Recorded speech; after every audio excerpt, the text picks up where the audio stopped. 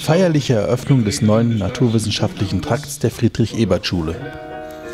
Im Beisein von Lehrerkollegium, Schülern, Eltern sowie Gießens Schuldezernentin Astrid Eibelshäuser konnte Schulleiter Wilhelm Galfe das neue Haus D offiziell seiner Bestimmung übergeben. Zu dem 1150 Quadratmeter großen Trakt gehört auch die Schulmensa. Der Neubau war nötig geworden, nachdem am alten Gebäude erhebliche bauliche Mängel festgestellt wurden. Schulleiter Galfe zeigte während seiner Ansprache Fotoaufnahmen von den Zuständen am alten Trakt, den Abrissarbeiten und dem Bau des neuen Gebäudes. Sie sehen hier, dort oben reißt es schon und es war dann wirklich schon etwas kriminell.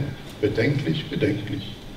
Das waren die Türen, von denen ich gesprochen habe, wo man also noch ein halbes Jahr hätte warten können, da wäre unser kleinster Schüler dann unten drunter durchgekommen.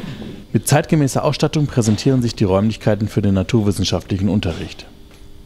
Schüler und Lehrer können nun während des Unterrichts in Biologie, Physik und Chemie auf Whiteboards, Laptops und Beamer zurückgreifen.